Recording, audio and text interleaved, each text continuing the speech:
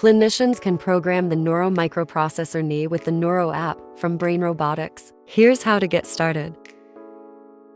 First, open the App Store or Google Play Store and search for Kneuro. Once you find it, download the app. After downloading, open the app and allow Bluetooth access. This is how the knee will connect to your device.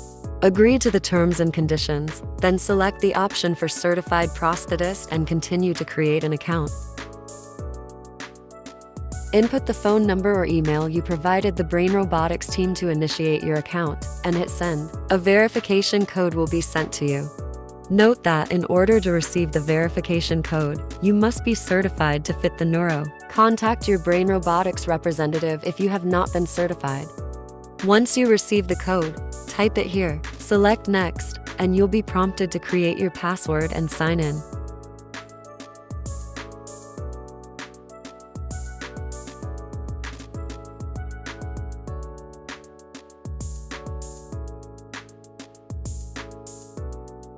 Now you're ready to get started. Click the plus sign in the upper right hand corner to generate a new profile and choose a username. We recommend using your patient's name.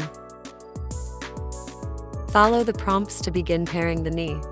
Press and hold the control button on the knee until you hear a long beep paired with a vibration. The LED on the back of the knee will signify that the device is on. Then, select the device that appears at the bottom of the screen. The Bluetooth number found inside of the knee shell should match the number shown here.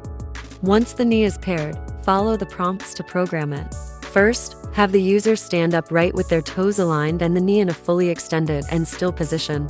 When the knee is aligned, click Next. Then, in bench alignment, measure the knee center to floor height, input the value, and hit Apply to save.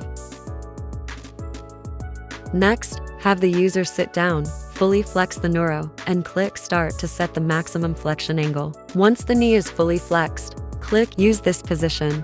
Make sure there are 3 millimeters of clearance between the socket or adapter and the knee. Finally, select the amount of flexion resistance for safe mode. This can be confirmed by turning the knee off and testing the resistance.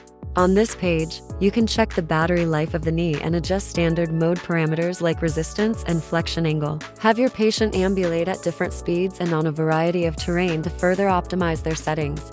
Made too many changes? No problem. Just click Restore to revert to the default settings. And remember to hit Apply after making any adjustments. The Kneuro is programmed with modes such as cycling and golf, along with three customizable modes. In the Custom Modes section, you can program these modes and enable or disable them based on the user's needs.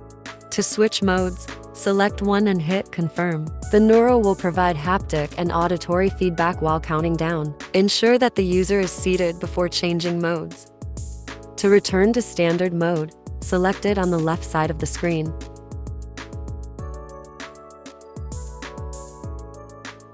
In the Profile section, you can view key details about the knee, like step count and serial number, and even rename the device if needed. Now that you've learned the basics, you're ready to use the Kneuro app to fully customize the knee for your patient, helping them embrace the art of movement. To learn more about Kneuro and the Kneuro app, subscribe to the Brain Robotics YouTube channel or visit our website. Thanks for watching.